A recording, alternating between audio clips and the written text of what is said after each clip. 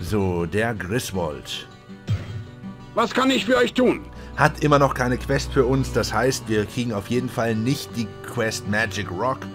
Die hätten wir nämlich jetzt spätestens auf Ebene 6 gekriegt, da hätte der Griswold uns drauf angesprochen.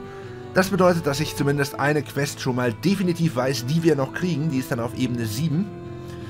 Und wie gesagt, das ist äh, mein Lieblings-Quest-Text im ganzen Spiel, glaube ich. Obwohl ich nicht weiß, wie der letztendlich hier dann im Deutschen wirken wird. Im Englischen ist er auf jeden Fall ganz cool. So, hier haben wir jetzt die beiden Bögen direkt nebeneinander zum Vergleich. Und der neue, den wir gefunden haben, der den Zusatzeffekt hat, die Rüstung des Opfers zu beschädigen, hat sogar noch eine höhere Trefferchance. Das heißt, der alte kommt einfach mal weg. Wir haben 16.000 Goldstücke. Wir müssen das natürlich erstmal reparieren. So, jetzt haben wir noch 15.000. Was hat denn der Griswold im Angebot? Kleinschild der Absorption. Minus 3 Schaden vom... Oh. Dann haben wir dafür den Widerstand nicht mehr. Die Schädelkappe des Mondes plus 7 zu allen Attributen, Rüstung 3. Da könnte man tatsächlich drüber nachdenken. Wir haben zwar die untote Krone, aber die hat ja nur Rüstung 9 und äh, stiehlt Lebenskraft, wovon ich ehrlich gesagt noch gar nicht so wirklich was gemerkt habe überhaupt. Das Krummschwert des Mondes plus 5 zu allen Attributen Schaden 3 bis 7. Ne, das reicht an unserem Morgenstern immer noch nicht dran. Ich glaube, das mache ich sogar. Ich auf die Schädelkappe umsteigen, meine ich. Plus 7 bei allen Attributen. Das ist nicht schlecht. Das macht, glaube ich, sogar die 6 Rüstungspunkte wieder wett. Das mach ich. Komm, ich mach's. Ich mache es. Jetzt, nachdem wir die Krone repariert haben, weil wir Idioten sind. Ist sogar noch Rüstungsklasse 8. Ne? Na gut, komm. Und fupp. Trefferchance 78%, Schaden 10 bis 19, 186 Lebensenergie, 46 Mana. Das sind Werte, die sich sehen lassen.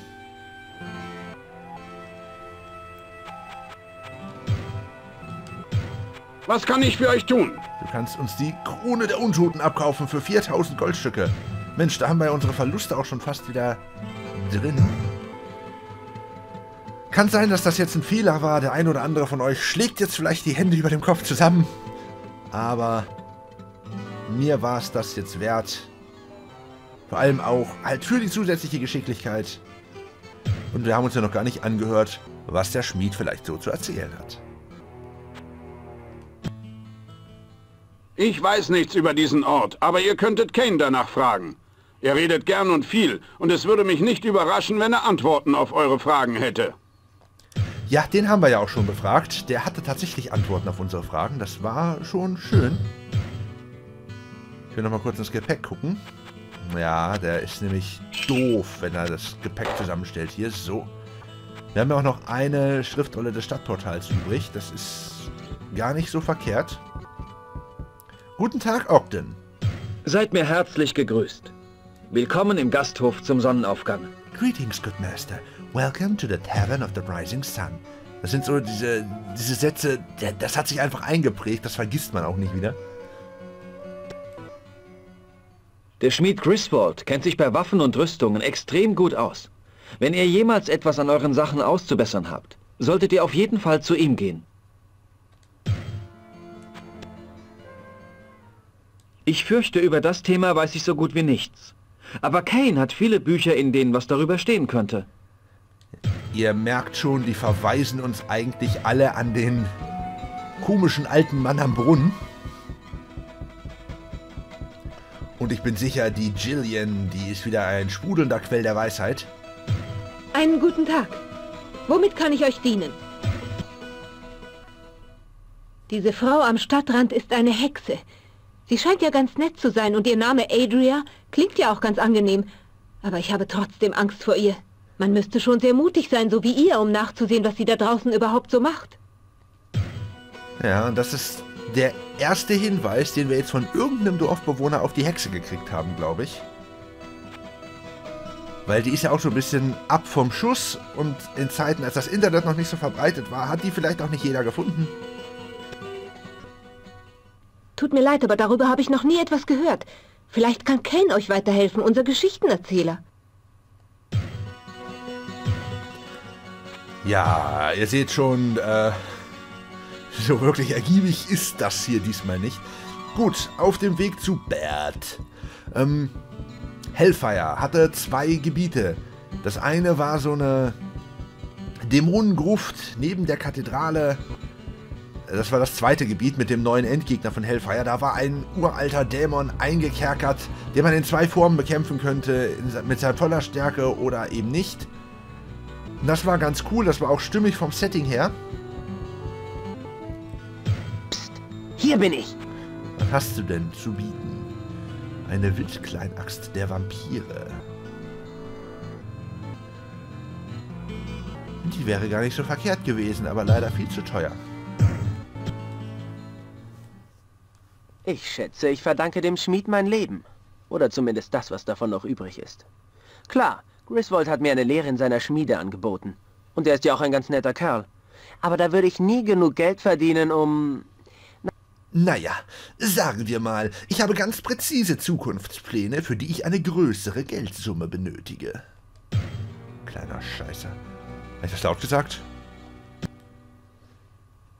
Ein riesiger und geheimnisvoller Schatz, sagst du? Vielleicht könnte ich dir ja nachher das eine oder andere Stück abkaufen. Oder noch besser, brauchst du keine seltene und teure Spezialausrüstung für dieses gewagte Unternehmen? Der denkt wirklich immer nur ans Geld. Furchtbar ist das. Ja gut, das eine war halt die Demon Crypt oder Dämonengruft. Die ist dann auf dem Friedhof, da ist so ein kleiner Friedhof neben der Kirche. Ich weiß nicht, ob ich den schon gezeigt habe. So ganz in der Nähe des Eingangs zu den Katakomben. Äh, aber um da hinzukommen, braucht man die Cathedral Map und die erhält man vom zweiten oder in dem Sinne ja ersten Endgegner des neuen Add-ons. Und zwar äh, The Defiler heißt das Vieh. Ist so eine, so eine große Alien-Mutter. Ja, ich sagte Alien. Die ist nämlich mit einem Meteoriten äh, zur Erde gefallen, ist dann unten äh, bei der unteren Brücke, die hier zu Adria führt. Da würde dann hier oben bei den Kühen steht dann ein neuer Charakter. Das ist so ein Farmer, der steht dann hier an dieser Stelle. Lester heißt der. Der uns die Aufgabe gibt, dieses komische Gewächs, Pflanzengewächs, was sich da auf seinem Feld breit macht, zu sprengen. Und darüber kommen wir dann ins Nest, wo diese ganzen Alien-Viecher unterwegs sind. Und ich könnte mir vorstellen, dass das Setting eventuell der Grund ist, warum Blizzard dann gesagt hat, nee, das ist doch ein bisschen zu abgehoben, äh, das möchten wir eigentlich in unserer Diablo-Geschichte nicht mehr drin haben. Ich finde es schade, ich hätte euch diese beiden Gebiete gerne gezeigt, aber ich habe die PC-Version ums Verrecken nicht zum Laufen gekriegt. Da ist mein Rechner einfach viel zu neu für. Ich konnte es nicht mal installieren. Äh, und deswegen musste ich ja hier auf die PlayStation-Version zurückgreifen. Dafür ist es ja in Deutsch. Aber uns fehlt halt Hellfire. Ist ein bisschen schade, aber ich kann da leider nichts machen. Es tut mir leid. Es ist so, wie es ist. Ah, eine dürstende Seele, die nach Antworten sucht. Oh, erstmal gucken, was die an Büchern hat. Büchern hat. Bücher. Also an Büchern hat sie absolut gar nichts. Das ist ja schon mal ganz toll. Eine Kiste, die man in der Dunkelheit öffnet, enthält dadurch keinen größeren Schatz, als wenn man sie bei Licht aufmacht. Der Geschichtenerzähler Kane ist ein Rätsel, aber nur für diejenigen, die nicht hinschauen. Sein Wissen um die dunklen Dinge, die unter der Kathedrale lauern, ist größer, als er sich sogar selbst eingestehen mag. Aha. Die Adria ist also überzeugt davon, dass hinter dem alten, knochigen Kane, der da am Brunnen steht und vorbei laufenden Leuten seine Geschichten erzählt, vielleicht doch ein bisschen mehr steckt, als man auf den ersten Blick sieht. Interessant, sollten wir mal im Hinterkopf behalten. Solltet ihr in diesem verfluchten Reich sterben, werdet ihr auf ewige Zeiten den dunklen Herrschern dienen müssen. Betretet die Knochenkammer auf eigene Gefahr. Ja. Das ist, glaube ich, die Quest, wo wir bis jetzt am wenigsten wirklich hilfreiche Informationen erhalten haben. Der Einzige, der da wirklich was zu, zu erzählen hatte, das war ja der Kane, der uns unter anderem davor gewarnt hat, dass alle, die bei dem Versuch, den Schatz der Knochenkammer an sich zu nehmen, gestorben sind, diese Kammer jetzt aufgrund eines Fluches bewachen müssen. Und wie genau sich das manifestiert, das seht ihr gleich selber.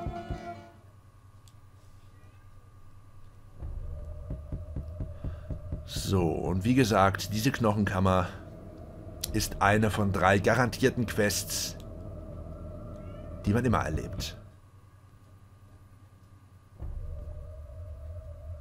Und theoretisch müssten hier gleich schon die ersten Gegner angescheißert kommen. Es gibt definitiv einen neuen Gegnertyp, den wir bis jetzt noch nicht getroffen haben hier in der Kammer. Ich muss mich mal kurz am Kopf kratzen, kleiner Augenblick. So. Äh, und das ist ein ziemlich cooler Gegnertyp eigentlich sogar. Werden auch alte Bekannte wieder treffen. Natürlich jede Menge Skelette, da kommen schon die ersten. Centurio Horribus, das ist äh, die Nahkämpfer-Variante des Horrors. Aber wir sind natürlich vorbereitet. So, dann erwähnte ich ja in der letzten Aufnahme, dass ein bestimmter Gegnertyp garantiert auftritt, immer. Oh. Den hat man jetzt nicht so gut gesehen. Das ist der neue Gegnertyp, den ich meinte. Äh, The Hidden heißt er, also zumindest die Gattung. Die hier sind, glaube ich, die Unseen oder die Ungesehenen. Die können sich nämlich tatsächlich unsichtbar machen. Die werden erst sichtbar, wenn sie direkt neben uns stehen.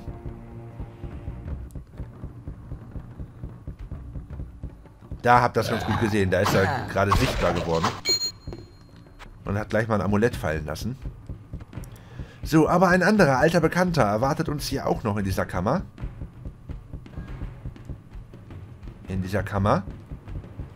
Da, aua. Da bin ich genau reingerannt. Ich erwähnte ja, dass der gehörnte Dämon ein garantierter Widersacher ist, den wir jedes Mal treffen. Das liegt an dieser Knochenkammer hier. Weil die hier mit drin sind und alles, was hier mit drin ist, das ist ja automatisch bei jedem Durchspielen mit dabei.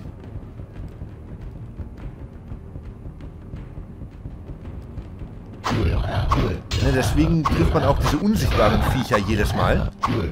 Und die äh, Skelette, die Horrorskelette. Ich habe übrigens offscreen nochmal durchgezählt. Und es müssten tatsächlich 13 Monstertypen sein, die garantiert auftreten. Also die fünf von der ersten Ebene und die anderen halt hier in diesen garantierten Bereichen.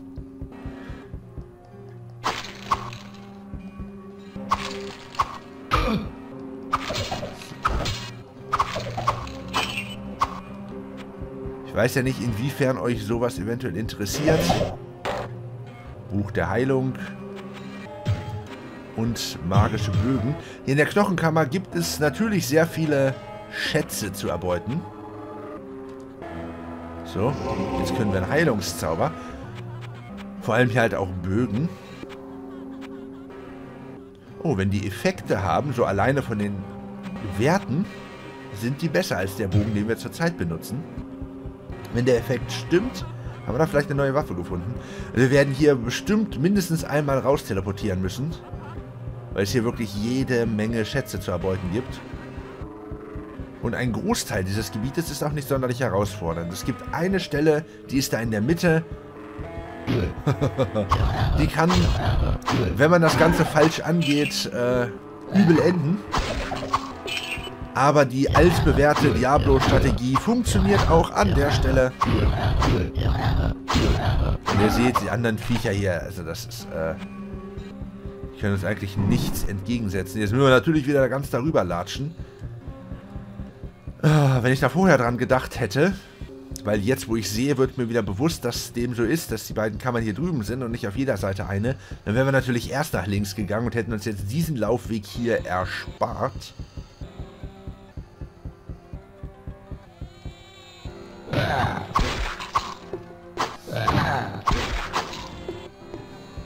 Ich glaube, von diesen unsichtbaren Viechern gibt es tatsächlich nur drei Varianten.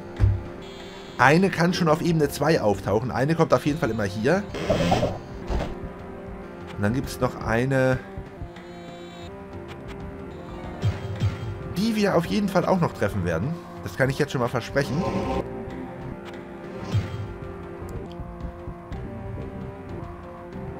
Kurz gucken, ob mit der Aufnahme noch alles in Ordnung ist, weil das Bild hat gerade so ein bisschen geflackert. Es scheint aber alles noch gut zu sein. Ist, ah, mein Gott, also die Wegfindung war teilweise schon ein bisschen... Es ist auch mit dem PlayStation Controller ein bisschen schwieriger zu kontrollieren. Auf dem PC hat man ja einfach an die Stelle geklickt, wo er hinlaufen sollte und dann ist er dahin gelatscht. So, man kann es vielleicht schon erkennen, der nächste Raum hier hinter dieser Tür ist mit Knochen bedeckt. Das ist die tatsächliche Kammer der Knochen. Und hinter der Kammer der Knochen soll ja die Halle der Helden liegen. Ah, da müssen wir erstmal hinkommen. Und wenn ich jetzt die Tür öffne, dann werdet ihr sehen, was Kane meinte mit alle, die hier gestorben sind, müssen diesen Ort bewachen. Wumm! Das sind mal gut und gerne 30, 40, vielleicht sogar 50 Skelette hier auf engstem Raum. Guckt euch das an da, Leute. Das kann jetzt eine Weile dauern, bis wir uns da durchgeschnitzelt haben. Gott sei Dank haben wir einen Morgenstern. Ich glaube, diese Waffengattung macht so ein bisschen Bonusschaden auf Skelette. Da, da, da, da. Ihr seht schon, äh, der Fußboden um uns herum ist schon so dermaßen mit Items belegt, dass er das Gold da teilweise ans andere Ende des Ganges schmeißt schon. Gott sei Dank nicht der in Indien, sondern der, wo wir hier gerade sind. Das lohnt sich schon. Und die Reihen lichten sich schon. Ihr könnt sehen, da sind auch so ein paar Unsichtbare noch mit drin.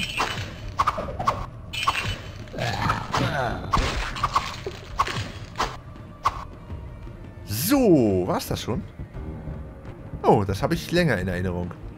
Wir sind halt einfach so gut. So, hier erstmal das ganze Gold einsammeln. So. Durchblick. Hier sind magische Lumpen. Schriftrollen nehmen wir mal mit. Den Stab, da wir keinen Platz für haben. Ja, ich habe das Monster gesehen. Ah, das kann uns ja eh nichts antun. Wir sind einfach zu gut. Ach, scheiße. Da ist noch ein magischer Schild. Schriftrolle. Hier war noch irgendwo Gold. Da liegt das Gold. Ah, den kriegen wir auch nicht noch irgendwie unter, ne? Nee. Wir sind voll. Das heißt, wir müssen jetzt erstmal in die Stadt zurück. Unser ganzes Zeug identifizieren lassen. Und verkaufen. Und dann wird hier der Rest gelootet.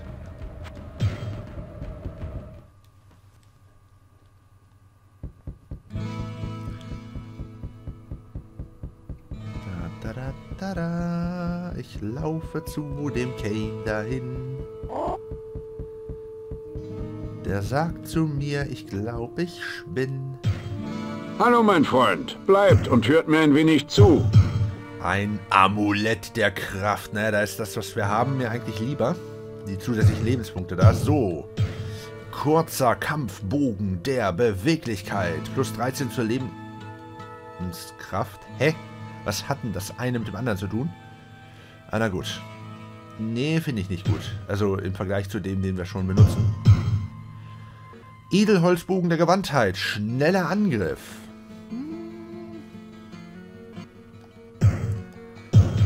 Lederrüstung der Dauerhaftigkeit ist sehr stabil. Und die Blaulumpen. Die sind was für Farnham.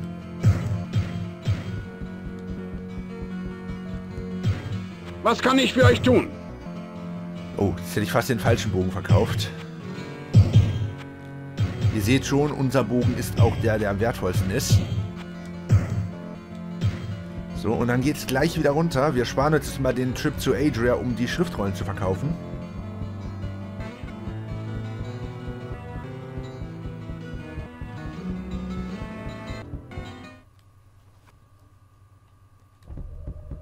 Wo lag jetzt der Schild? Da ist der Schild. Und dann durchqueren wir die Chamber of Bones. Hat leider nichts mit der Fernsehserie zu tun. Und schnetzeln hier noch einen Unsichtbaren und machen uns auf zur Halle der Helden.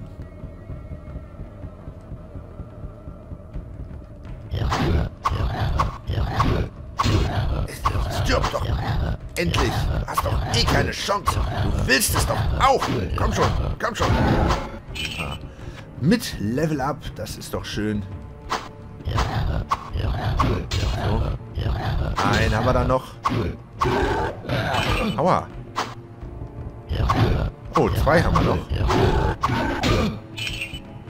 Oh, der äh, Soundbug, der ist ein bisschen... Ihr seht, das da, das ist jetzt auf Abstand gegangen. Die können sich nämlich, wenn sie unsichtbar sind, äh, regenerieren. Das ist so ein Trick, den muss man erstmal wissen. Denn sonst kloppt man potenziell, wenn man nicht genug Schaden macht, mit einem Schlag äh, stundenlang auf die Viecher ein und wundert sich, warum das alles nicht funktioniert. Geschicklichkeit müsste jetzt fast auf Maximum sein. Ein Level noch. Trefferchance ist auf 81%. Wenn wir beim Zuschlagen treffen, machen wir automatisch mehr Schaden. Deswegen halt erstmal Geschicklichkeit. Meiner Meinung nach der wichtigste Stat von allen hier. Und das alte Buch ist unsere tatsächliche Belohnung für das Durchqueren der Chamber of Bones.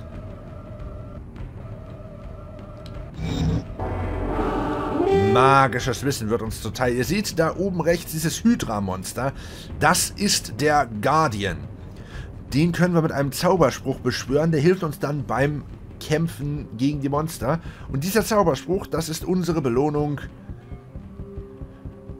für das Erfüllen dieser Quest. Ich bin mir jetzt nicht ganz sicher, aber ich glaube, wenn man äh, diese Quest mehrfach macht, was ja möglich ist aufgrund des äh, Systems von Diablo, ich kann ja diesen Charakter jetzt hier abspeichern und in ein neues Spiel importieren und wieder ganz von vorne anfangen, mit allen Quests und allem. Ich glaube, jedes Mal, wenn man diese Quest macht, erhält man plus 1 auf den Guardian-Zauberspruch. Bin mir aber nicht hundertprozentig sicher, ich habe das nie gezielt getestet. Falls einer von euch das mit Sicherheit weiß, kann er es ja vielleicht in die Comments hauen.